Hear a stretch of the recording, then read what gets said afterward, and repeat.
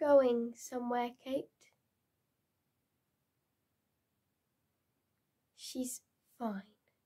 Let's not wake her. Honestly, we're past all that now, aren't we?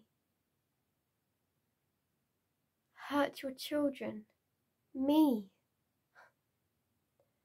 I'm not the one who passed out drunk and almost let Max drown in the pond.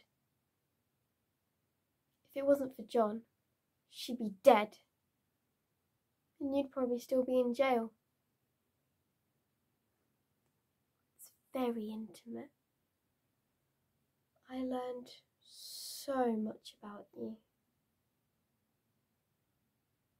Jessica, your cheating husband, where you hide your wine bottles. She was still kicking when the doctor told me it was something called phantom fetal movement.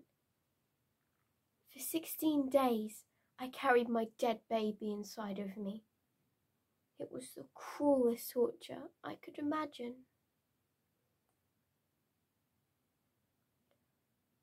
Kate, it's too late.